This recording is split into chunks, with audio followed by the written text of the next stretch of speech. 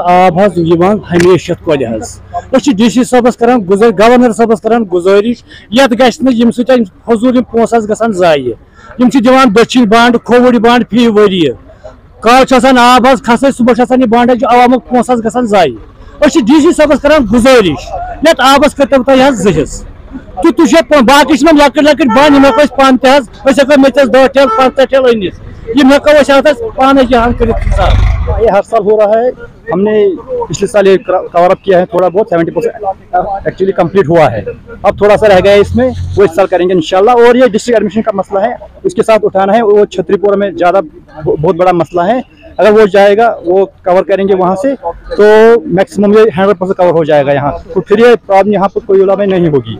ये फिर समूथ जाएगा। दोनों नाला एक से एक टैंकुना की साइड में जा रहा है और एक कोयल की तरफ़ जा रहा है। ये सात सारा नाला है।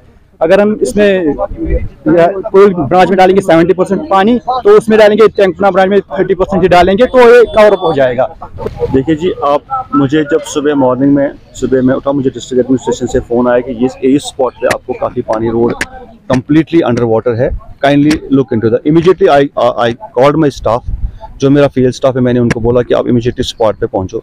ये सारे स्पॉट पे पहुँचे हैं। आप ये भी देख सकते हैं कि जो सारे मुलाजिम यहाँ पे पड़े हुए हैं, ये जो है रोड वर्कर्स हैं, बेलचा ले लेके, ये बेचारे यहाँ पे आए थे। इस चीज़ को लेके कि हम कुछ तरीके से इस पानी को निकालने की कोशिश करें। लेकिन अनफॉर्चुनेट जब मैं यहाँ खुद आया, मैंने जब ऊपर से, जब मैं ऊपर इस एरिया से आया कि इसमें जो ये पैडी फील्ड्स हैं, ये लगता है ऐसे कि जैसे इसमें फ्लड आया हुआ है।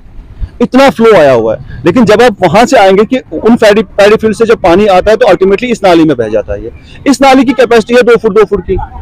इसमें एक क्यूसिक वाटर ज़्यादा से ज़्यादा आएगा। पाइपें डली हुई है। लेकिन प्रॉब्लम यह है कि ये यहाँ पे जो लोकलिटी कह रही लोकल कह रहे हैं कि ये जो पूरा इलाका, ऊपर का इलाका, ये सारा पानी एक बड़े नाले में जाता है। लेकिन अनफॉर्चुनेटली फिर बिकॉज़ ऑफ़ सम रीजन वो flood control irrigation flood control department वाले ये बोल सकते हैं कि उस नाले में पानी जाता ही नहीं वो सारे का सारे पानी इस नाली में आ जाता है। रीजन बीइंग कि इस नाली की जो कैपेसिटी है, वो जितना ये कैटर कर सकती है, उतना ये कर लेती है। बाकी जो पानी या तो वो लोगों के घरों में घुस जाता है या तो वो रोड पे आ जाता है।